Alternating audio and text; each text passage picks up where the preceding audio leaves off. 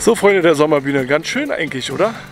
Mehr gibt es die Woche nicht zu zeigen. Wir sind zu Hause, wir sind in unserem gewohnten Umfeld. Die Kinder besuchen Oma und Opa, ihre Freunde. Ist auch ganz gut, äh, alle paar Wochen oder ein, zwei Monate mal wieder zu Hause zu sein. Gerade für die Kinder ist es ganz wichtig, glaube ich. Für uns heißt es aber dennoch, nächste Woche geht es ins neue Abenteuer. Und wer möchte, schaltet ein. Und bis dahin, bleibt gesund.